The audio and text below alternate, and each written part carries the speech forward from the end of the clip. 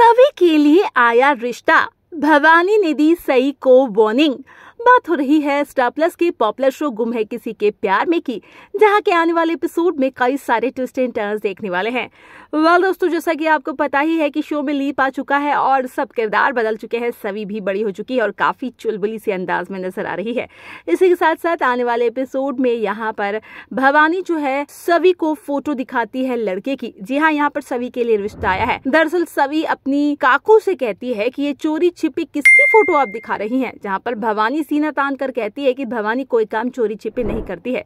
ले तू भी लड़के की फ़ोटो देख ले। और उसके बाद भवानी सभी से कहती है कि सबको पसंद आ गया है, तुझे भी पसंद आ ही जाएगा। वहीं दूसरी तरफ़ यहाँ पर ईशान का सीन दिखाया जाता है, जहाँ पर वो अपने घर में होता है। इसी बीच यहाँ पर काकू जो है, यानी कि भवानी जो है सभी को वार्निंग देते हुए कहती है कि लड़के वालों के सामने कोई भी शरारत मत करना।